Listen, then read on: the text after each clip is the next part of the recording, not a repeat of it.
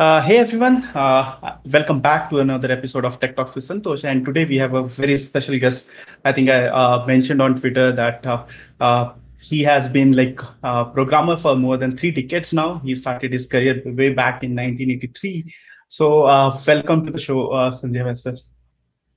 Thank you. Thank you so much. so let me just introduce Sanjay Vyas. So he's he started working in IT from 1983 and he started as a mainframe and COBOL programmer, and uh, then shifted to Unix and C in '86. He wrote an antivirus for CBrain in 1987. He, he started then, he moved to Windows way back in 1990. I'm sure we were kids back then. And then he founded a company uh, called Synergetics in 1993, which he owned till 2009. And he's also a MS certified train partner in India uh, on Visual Studio, MFC, and SDK. He has trained internationally for last 20 years, which is more than two decades. And he's uh, uh, he has been MVP for multiple times. He introduced .NET to India in 2001 uh, when I was in school. And uh, he, he has also been speaking at MS events since 1986, which includes TechEd, Dev Tales, PDC. And he became Microsoft Regional Director in 2016. I know there are a lot of amazing uh, people who actually is Microsoft regional director from the world, and he's the one. And he's also an architect, uh, architect, design and develop implemented NHI Toll Plaza project uh, using Linux and Java. He is now semi-retired, spends time coaching college kids as well as in CDAC. And he also uh, works as a technical consultant right now, technical architect uh, with few clients, which he has. And yes, that's that's about him. So uh, we are looking forward to this session, and we will explore more on visual learning. So I came to know Sanjay Vyas sir by his tweets, he, which he used to share, and uh, his post on LinkedIn. He uh, there was really interesting called visual learning, and then I thought of having him on the show one day, and yeah, we are we are lucky we got him. Thanks a lot, sir. Thanks, my pleasure. So hi guys, uh, I'm not going to take too much time talking about it. We'll straight away go into visuals and into code. I hope uh, you follow me on that. Uh, but there's only one question that I would like to start with. Uh, mm-hmm. When you meet someone after a long time, maybe from school or you know your childhood, you immediately. I think you're. I think you're. Sorry, uh, there was some. disturbance. Yeah. Uh, I cannot hear you. Uh, I cannot hear you. Uh, no, I think there is some problem. I think you, we some cannot problem. hear. We I can just hear myself. Mm-hmm. Nope, still no. Uh, you're on mute. I think you're on mute. So shows you're on mute. Uh, yeah. Can yeah. you hear me now? Yeah. So so sorry about this. I thought we were talking and uh, I was on on this. So when we meet somebody after a long time, maybe from childhood, or friend, we immediately say, "Hey, I remember your face. Sorry, remember your name, but I've forgotten your face." No, no, no, no, no. It uh, actually happens the other way. We remember faces, but we forget names. That's true. And that is the core of visual learning. I mean, uh, one thing that I've been researching for about 30 years now is how the brain learns, how it absorbs information, and how it remembers and recollects. Mm-hmm. It's purely visual. Okay. So, I have been actually uh, teaching for all these years using a methodology which is known as concept visualization. Mm-hmm. What it basically does is it takes any piece of information and step by step convert it into a series of visuals mm-hmm. and present it to people. Now, what happens in this case is the brain absorbs those visuals much better than words. So, this is what I've been doing. Now, unfortunately, because of this lockdown and COVID, I could not go out and draw these visuals and whiteboard. Uh, again, you you went on mute. I think. Uh, you are on. Yeah. Uh, sir, is that? Uh, you are on mute again. Uh, sorry. Uh, again. So, uh, you are still on mute. Mm -hmm. Uh, just a second. Uh, sorry, sir, you are on mute. Somehow, uh, I can see you are on mute. I'm yeah. quite a luddite for being a 30 year old technologist. no problem. I think you were uh, somewhere between uh, the COVID, right? So uh, yeah, that's what. So, so um, I used to draw on whiteboard. I used to for almost 30 years. I was drawing uh, mm-hmm. technology on whiteboard and teaching that way. And then with COVID, uh, suddenly I had to use computer to teach. So I figured out uh, which tools to use, uh, mm-hmm. how can I express the same things. So that itself is a vast topic, how the human brain learns. Mm-hmm. And uh, I've just, you know, given a few key points saying it it works better with visuals than it does with uh, text. Mm-hmm. And with concept visualization and our digital concept visualization basically takes text, converts it into visual, feeds it to our brain so that our brain remembers it and understands it better. So let me not talk too much, but instead get into some demos. So mm-hmm. What I'm going to do is show some examples of these concept visuals, okay. what they can look like, and uh, maybe then translate it into some bit of code to see what how, how to do that. So mm-hmm. let me share yeah. my application window here. Yeah. So yeah, let me just I hope stream. Ah, yeah, we can see now. All right. So this is a session that I do, which is called digital concept visualization, compilation mm-hmm. process, and process map. Uh, this is the part which is used for converting text into diagram, and it's a science by itself. And there are rules which you can follow and do it kind of automatically. But the mm-hmm. topic that I'm going to take is compilation process and process map. I'm assuming that the audience here would be mostly from IT or developer background. And uh, in this last 36 years that I've been in this field, I've realized one thing that uh, the easiest and the best way to learn a technology or platform is to understand its process map. So let me start off. Uh, this is something that we could, we would have learned in our college time, uh, early on in our career, that to write a program and run it, we need to write some sort of source code. Yes. Uh, this is what comes from languages. This is probably C. So there is mm-hmm. a piece of C code which we compile. Mm-hmm. Now, see, these are the things that we read from books and we sit through lectures, and the professor also tells us. But mm-hmm. uh, here, the focus is not on the text or the professor, but the diagram which are being shown. Mm-hmm. And this is concept visualization. So, when you compile this code, it produces binary. And this is referred to as object code. But this is not complete because we are using some functions ourselves which we have not written. We need to include this from somewhere. Mm-hmm. And that comes from something called the library. So, library is nothing but a collection of previously compiled code sitting somewhere in some file.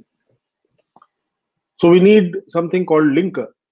Now this linker basically takes what we have written, what mm-hmm. we have used, combines the two, and produces what is finally the executable. Okay. Technically, this is a program. This is source code.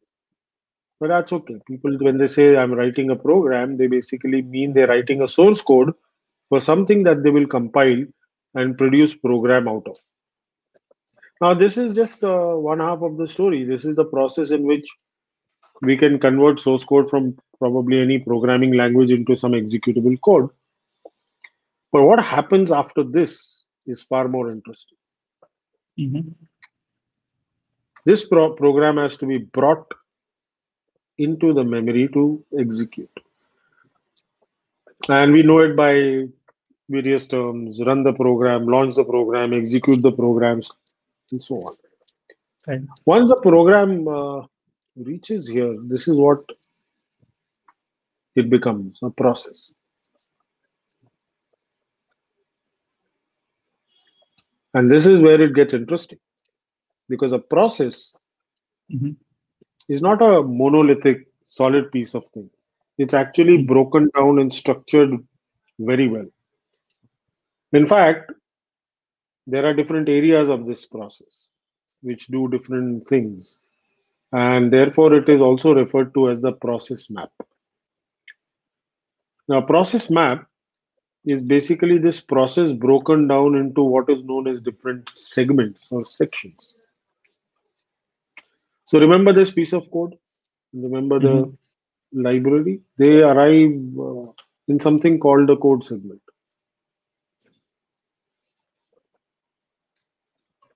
The loader picks it up, stores it in a different segment. Mhm. The data arrives, uh, which is the global data, arrives in two different segments called BSS and data. They are segregated based on their initial value, whether it was zero or non-zero. Okay. Nothing great about this. And then we have uh, stack. Now, stack is a place where whenever the program executes, it stores its local data. These days, I see people call it as uh, function context, Mhm. but uh, we oldies have known this as a stack frame. So, whenever a function runs, it actually receives or creates what is known as a stack frame. Mhm. This stack frame actually contains four main components, starting with the return address, where it's supposed to go back, formal parameters, what it receives when it Mhm. is called, a set of local variables that it's creating, and a return value that it's going to give back. Now, interesting thing is today most languages are stack-based languages. Mhm. So almost all languages will have these four components: return address, uh, arguments or parameters that are passed, set of local variables, and return value.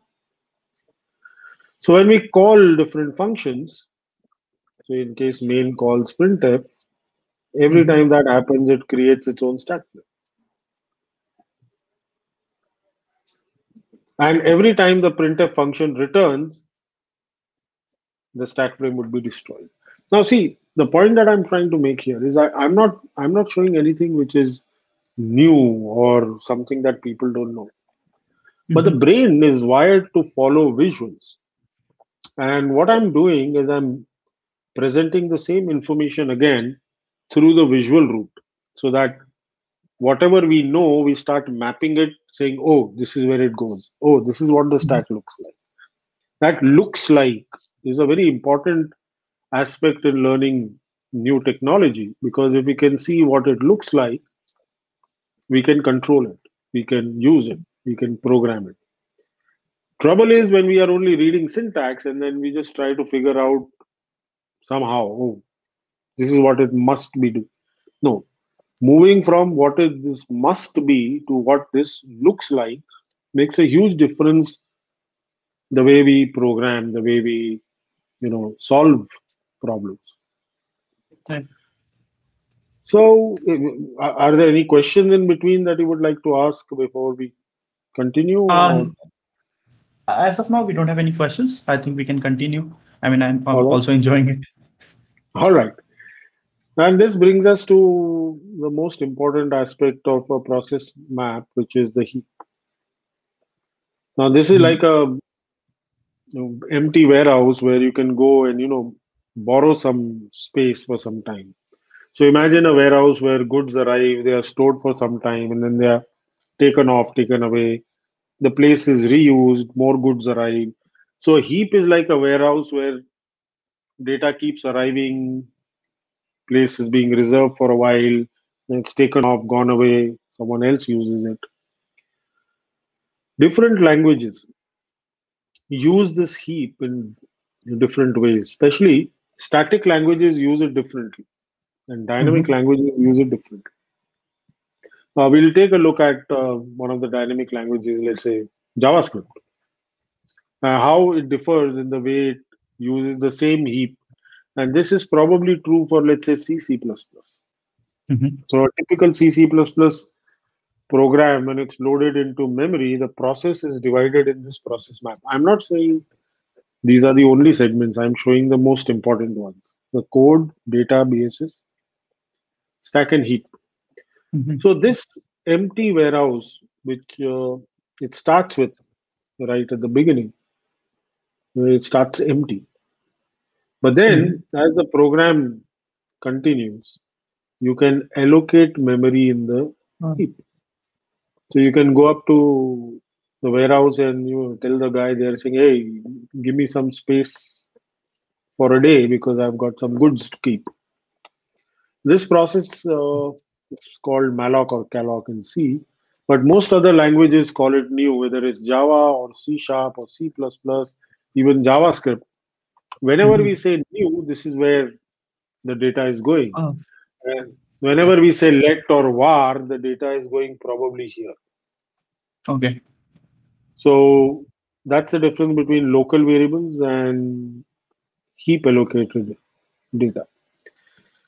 So this is an example of visual learning because we are revisiting the name, the concept that we have known, but hmm. now we are putting it in visual saying, oh, this is what it looks like.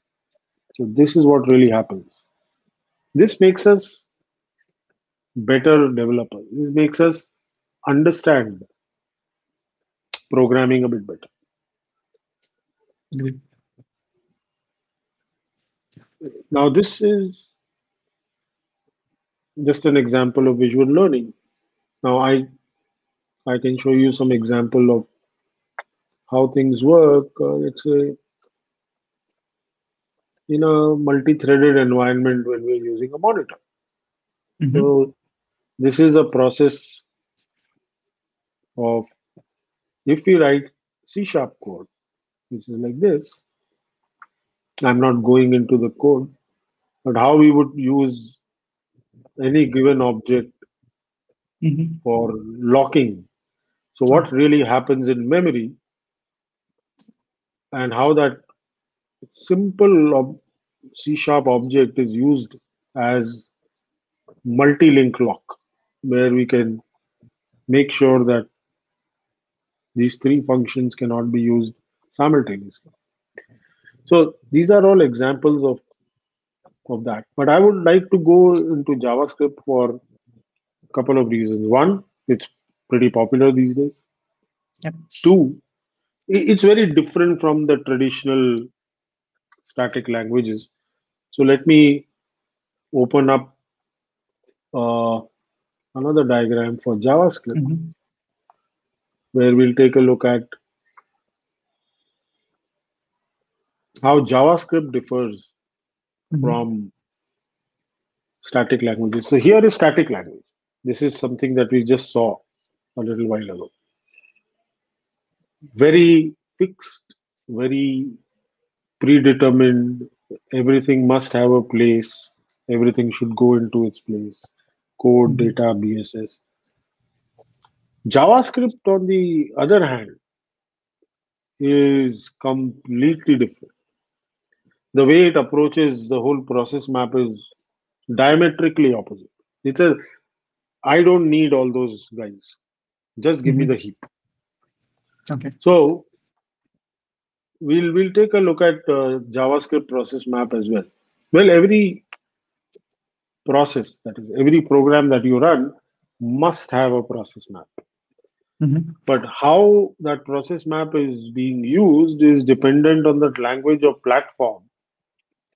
And in JavaScript, we have no pre-compiled code because it's a dynamic language, scripted language. You just write a piece of code and start running it. So there is no binary code, unlike this case where we had binary code. Right. So instead, this code segment is occupied by the JavaScript engine itself. So here is where the JavaScript engine establishes itself. Now, it has various components like memory management, interpreter, byte converter, garbage collector, and more. Ah. I'm not going giving specific name because there are multiple engines like Right. Chakra, Spider Monkey, uh, JavaScript V8. Core, V8.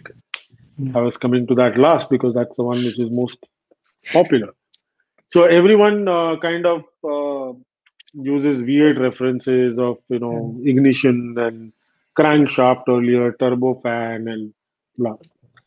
I'm just giving them generic names, saying any JavaScript engine of worth its salt would have some of these components which will do memory management, interpret the code, convert to byte code either just hmm. in time or you know compile beforehand AOT. garbage collect. So this is process map, but it's looking different. So we do have a global area, but it Mhm. doesn't uh, behave like the global area that uh, a typical C, C++ kind of uh, process map would have. So let's take a look at a very simple code. And let's assume that I'm running this in uh, Node.js environment. So here is my process map and here is the code. Mhm. Now, why I keep saying visual learning is important? Because typically a developer would start and he would, you know, start reading this code and try to understand, and someone will come and say, "Oh, this is a variable. This is also a variable." But sometimes we don't put var. It's okay. It's glo-" no. Visual learning is whatever we are reading, whether it's code or it's text, it's some um, blog that we are reading or some technical book we are reading, our brain is going to block it. What we have to do is feed the brain these visuals. So I have this saying which I say in my class regularly. Visuals are chocolates for your brain. It loves them. Feed visuals as much as you want, and brain will never tire of that. To give you an example, how long can you read a book? Even if you're interested in that, maybe it's a novel that you love, you can't read it eight hours at a stretch. If I make that a you know non-fiction textbook, I hmm. doubt if people can even read a technical book for an hour without putting it down. Of course they can't. But when did this happen to you last time that while walking through the day, going about it, you suddenly put your hand on your eyes and say, I can't see it anymore. I've seen too much for today. Doesn't happen. Brain can keep receiving visual input for hours at end, but it can't keep up with text. Uh, as I said, concept visualization is a science that I've created. I have a lot of proof that I can give, but maybe today's limited time, I can't go more deep in that, but I can show you examples of that. Mhm. So, looking at this code, anyone who is a JavaScript programmer knows what the right side is. I want to show them what the left side. Mhm. So, when you come across a statement like this, what really happens is JavaScript creates a global or window pointer. Now, let's understand this. The computer says you have to tell me everything in advance so that I can keep them in code, data, BSS, or stack. I can arrange Mhm. for it. JavaScript says, hey, I don't know anything. When I read the code, I'll let you know. He says, that's too late. You go to the warehouse. That's the only place where at runtime I can give you some memory. Mm-hmm. So JavaScript is very heap centric.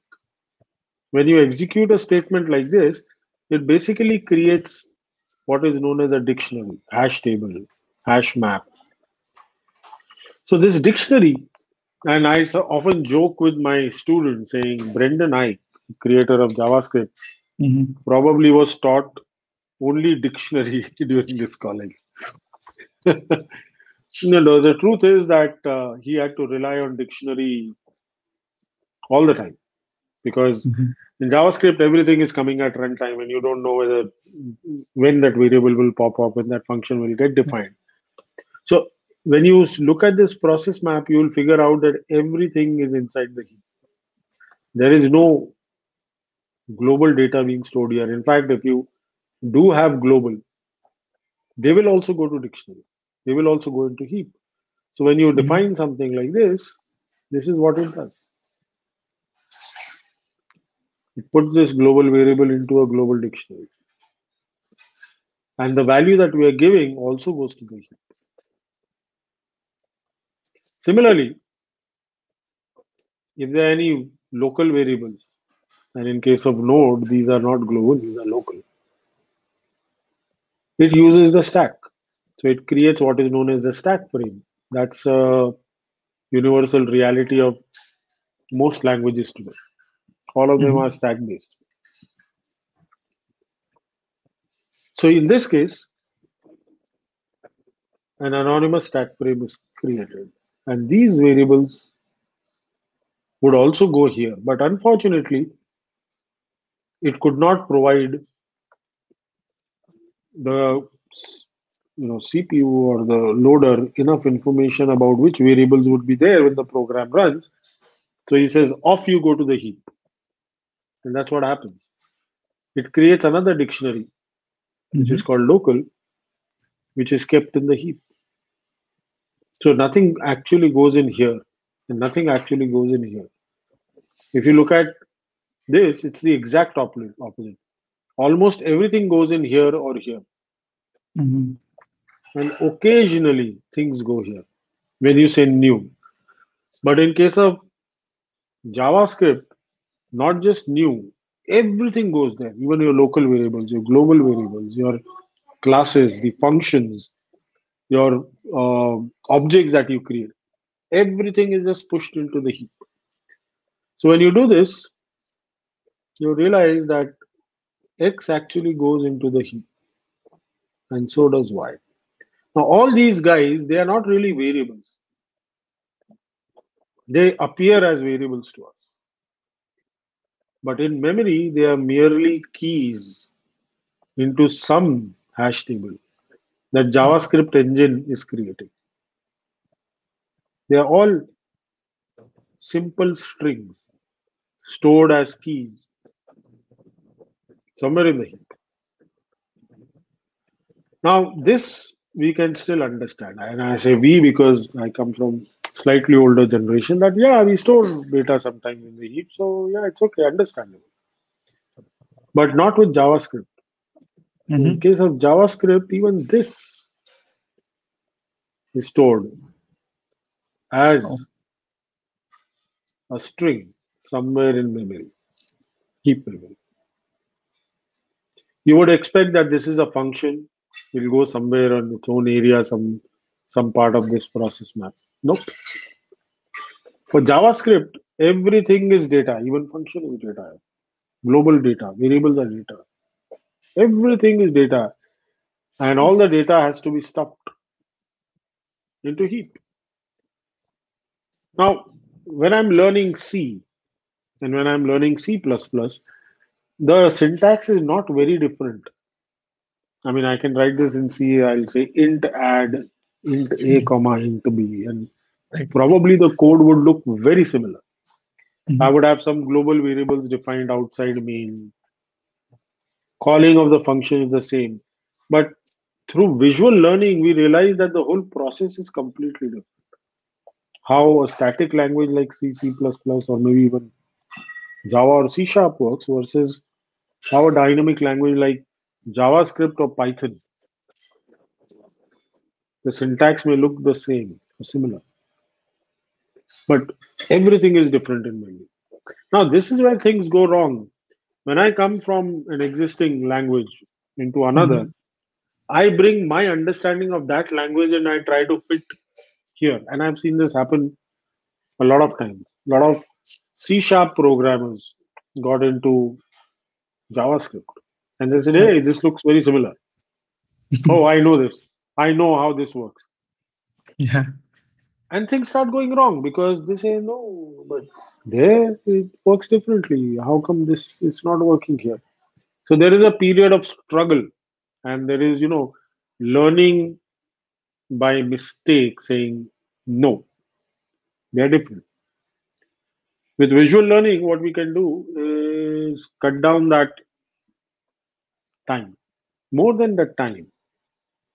Take all the time you want, but building that understanding of of a technology that C C plus plus works differently. JavaScript works differently. The syntax may look similar or same. I mean, if I write class X extends Y braces, you can't say whether C uh, so- sorry JavaScript or Java. The same syntax works in both languages, identical. But what happens in memory is completely different. So we go ahead Mm. with this and you know look at uh, how a function gets called, and uh, this is again a universal reality in all programming languages which are based on stack. That whenever a function is called, a stack frame has to be created. Mhm. But unlike the previous one, where there is a lot of data which is stored inside stack like C, C++, Java, C Sharp, Mhm. almost nothing gets stored here except maybe a pointer, which points to Hmm. another dictionary. This is known as local. So you get more dictionaries in the heap. Now, all variables coming out of here would be stored in their dictionaries. So C will get defined here. So see this. This is going here. Uh, A and B would also go here.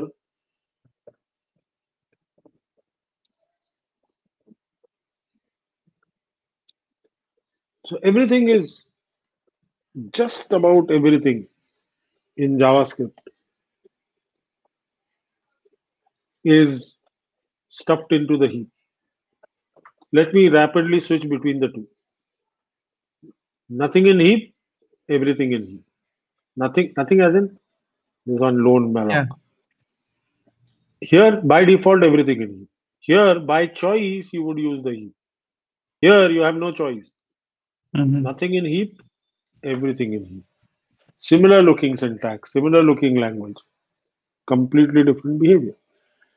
Wow. So now let me uh, start this off. Uh, how do we understand? How do we, you know, realize these things?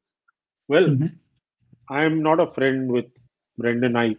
I would love to be, but I'm friend with the debugger. Now, Mhm. sometimes, many a time, there are things right in front of our eyes. We see them, but we don't analyze them. We just accept them as they are and they just go ahead. So let me share. a window. I need to stop this share to start another one. All right. Mhm. So let me share another window.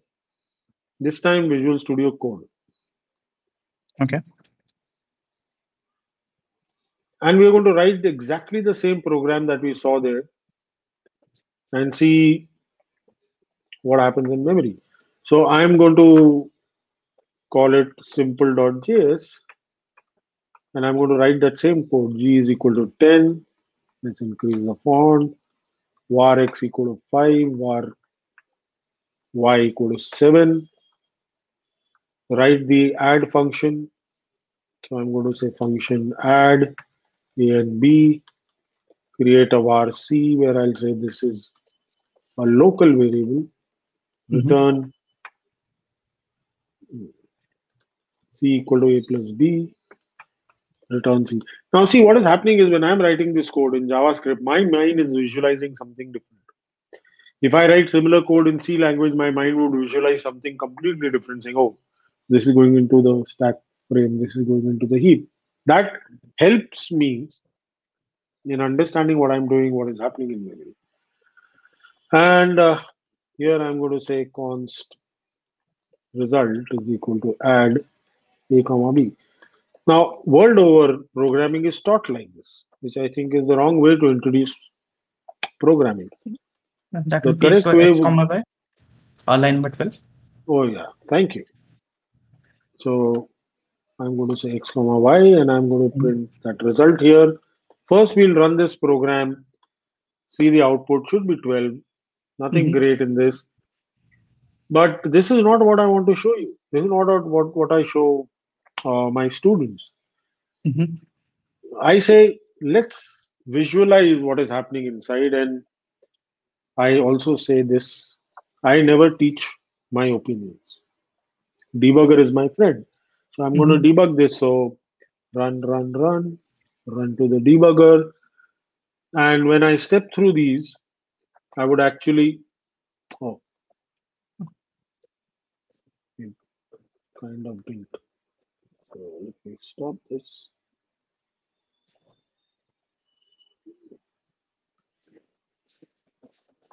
Oh, my debugger is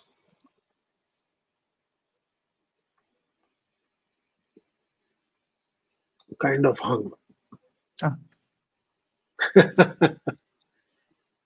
Years of debugging, and this happens when you do a demo. So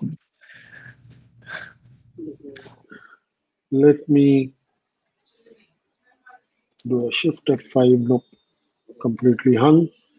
Mhm. No problem. The best part of VS Code is starts in three seconds. I love that about it. So I'm going to go back here, share it, uh, go back to my share screen and pick up this. So you're back here. So I'm going to open up uh, my app now. I don't know where it got. Oh, it's here. It's here. Yeah, it's already there. So I'm going to put up a breakpoint. Uh, run this. I hope it, let me open a folder because we'll try to create VS Code file. So I'm going to open a folder in my somewhere here. Uh, oh, let me call it demo. Mhm. Um, wrong spelling, but that's okay. And I'm going to create the same simple.js. Oops. And put that code here. Hopefully the mm-hmm. debugger will run now. I didn't have a folder open. There we go. Yeah.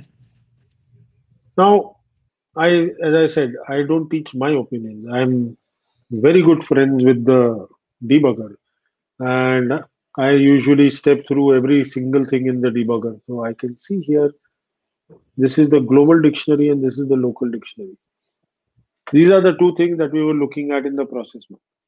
Mhm. One global dictionary coming from top and the local dictionary Right. coming from the bottom. And both these dictionaries are in the heap and everything goes in there. Now, this is where I find things out. This is where I learn to visualize. Visual learning is not does not happen in empty space or void.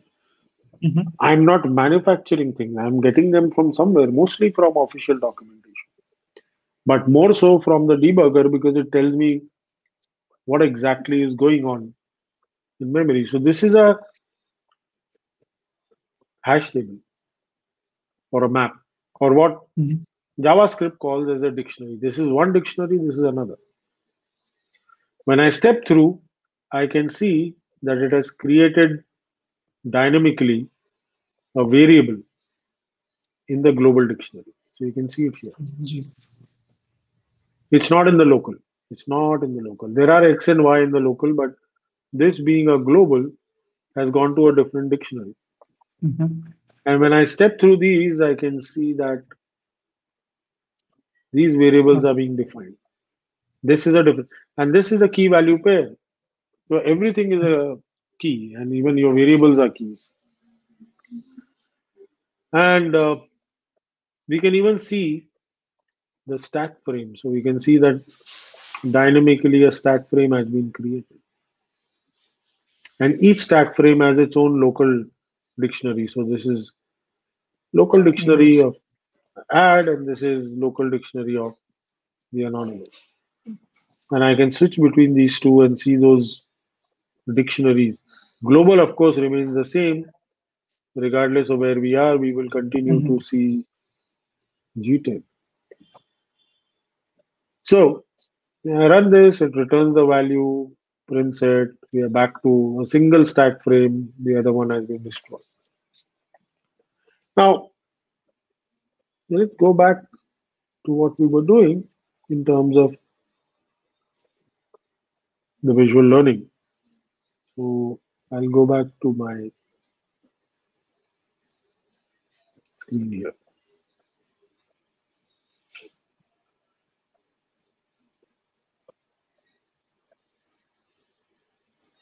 This comes to me later. This comes to me first. Mhm. For most people, it's just the right part. They just learn the syntax. Now, how people get better at programming is that they learn a language by syntax, then they start Right. recognizing patterns. So they say, oh, do this and that will happen. Or do this and this will happen. So don't do it. Brain has very limited capacity for storing all these permutation and combination of patterns. For me, learning starts from the left side. I must understand the process map. I must understand how it's laid out, what is happening there.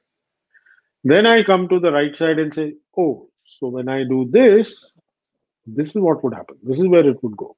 No, no, that's not a good thing. Um, so sometimes I'm surprised, uh, even after years. People still don't really understand the pro- language or platform they're working on. So I come across a guy, maybe who's working on JavaScript for three years, but if you ask him a bit about function, he does he doesn't know what really happens. Let me show you quickly what happens when a function is defined in JavaScript. And this may be Mhm. you know interesting to many JavaScript programmers themselves. So let me start off with a piece of code which is like this. Nothing complicated, pretty simple, straightforward. I'm defining a function and I'm defining an object based on that function. So this is a constructor function. Mhm. This is what JavaScript started off with, but later they added classes which are fraud.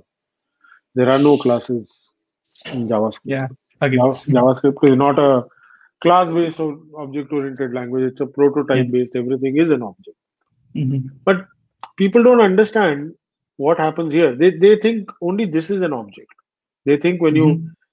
Create an object is when you get an object. They don't realize that this is also an object. Mhm.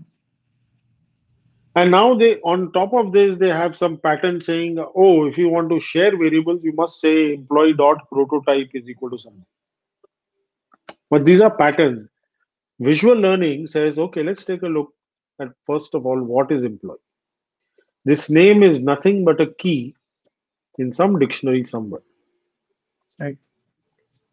When you create this, when you go through this function as in JavaScript engine, it actually creates an object. So employee is not only a function.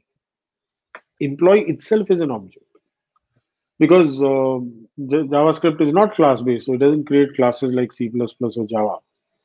It straight away creates objects. Now it's very interesting how this works, and uh, again, this is something that people are forever confused between. And I blame Brendan Eich for this. He chose two very similar names uh, to mean two different things. One is called the proto, and the other is called the prototype. Mhm. nine out of ten JavaScript programmers who learn by patterns or learn by syntax or learn only by reading, they say, ah, proto prototype. They think it's similar. One and the same thing. Not just similar. They think it's the same thing. Yeah. So uh, when we start looking at it visually, we learn, we start to understand all the key components here. So when I write this function employee, the code of it is picked up and stashed away somewhere. This whole code, this entire code.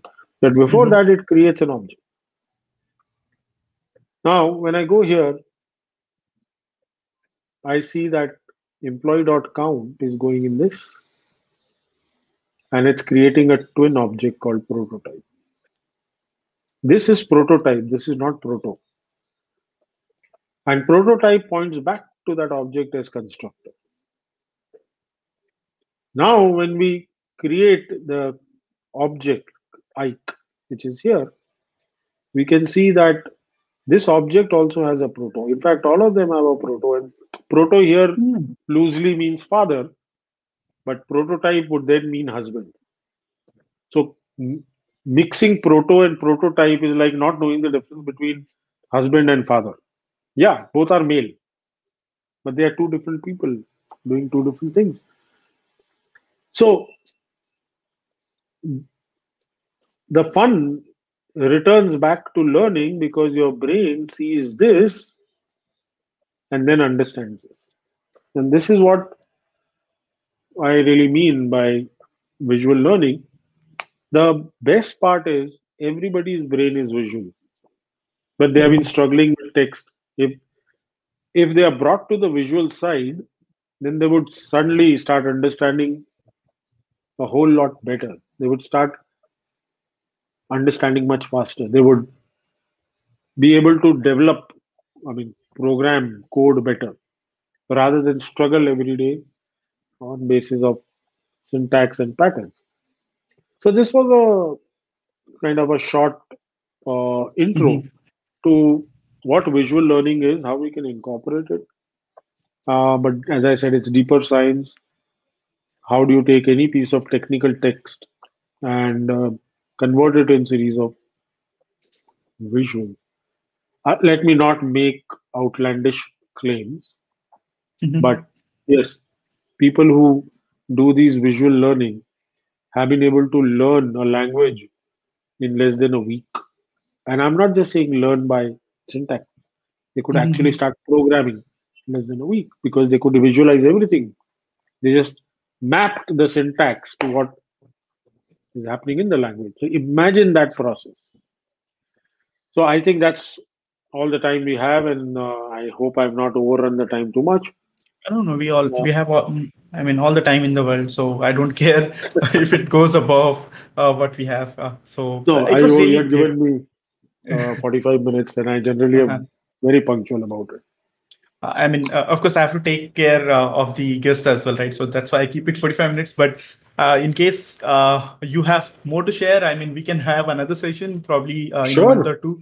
So i can sure. invite you again. That was really interesting because i can understand uh, i think uh, the visual learning which uh, will help me more in is like understanding the compilers right? Now nowadays you have webpack babel and if i understand this the constructs of uh, programming language better i think i will be able to crack those parts easier. That's uh, true, true right everything and i'm not restricting it just to the compilers i'm saying everything you can learn visually just about everything. Yeah. So I've learned music visually. I've learned programming visually. Uh, somehow, right from the beginning, I, I learned to mm-hmm. see things rather than read them. Uh, so um, I, I know about uh, 15 to 16 languages, and I'm not saying that proudly. Mm-hmm. I don't feel proud that I know languages. I feel proud that I can visualize all those languages. Uh-huh. So I, I'm equally comfortable in JavaScript, Python, C++, C sharp, or whatever.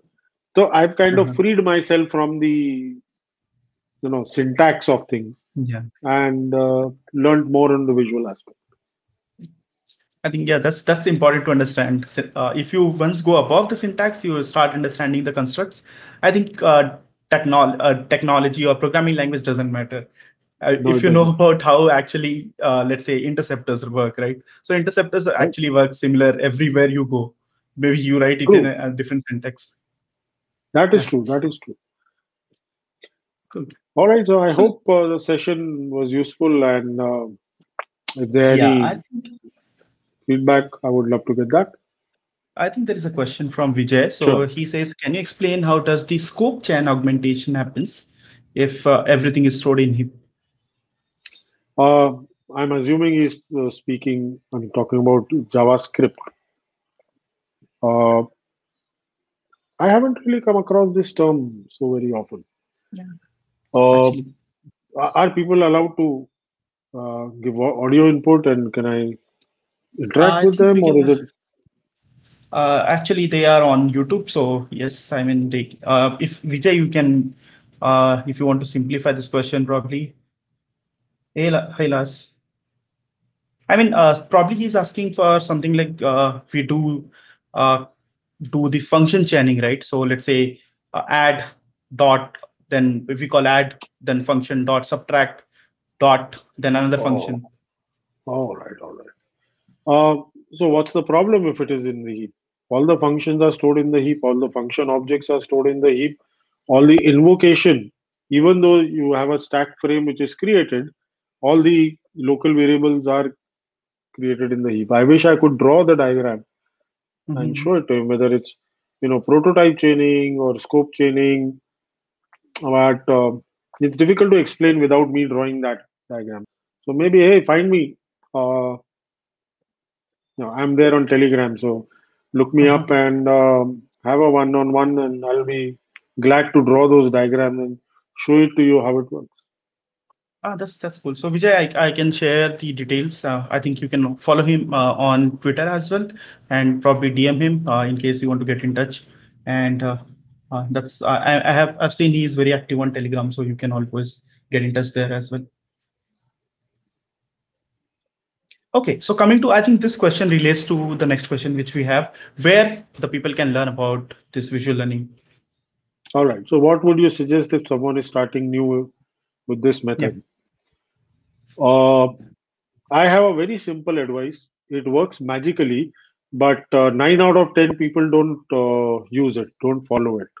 And the advice is if you're reading without drawing, you're wasting your time.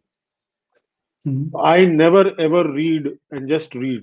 Whenever I'm I sit down to read something, a new technology, a new language, I keep a you know heap of paper, or should I say stack of paper, and uh, I keep a pencil and an eraser, and I whatever I'm learning, I doodle it, I draw it, saying, oh, so this is source, okay, this goes here, and now where is this going? Okay, let me draw that here, and then connect it from this to this, and this returns back, and at the end of that, I realize I have a visual diagram which is actually telling me how that thing Mhm. works. So, if you're new to this, just follow a simple advice. Never read without drawing. You are wasting your time. Doodle, whatever comes to your mind. There's a science to it, and if you happen to uh, attend one of the sessions, I can explain that science. But even in absence of science, the minimum you can do, just doodle. Mhm. That's good. Uh, okay, so we have one question from Lars. I think uh, let's take. Uh. How do you apply visual learning to blog posts? Oh, I'm assuming that uh, the question is, can I make my blog post more visual? Or see, the human brain always attaches to visuals first. It, it never starts reading text. So if I show you any web page and if there's a visual, your eye will automatically go to the visual first and then start reading it or start analyzing it. Now, if you want a great post, the entire flow of your post should be a series of images which tell you what to expect from the next paragraph or what is going to happen in the code below.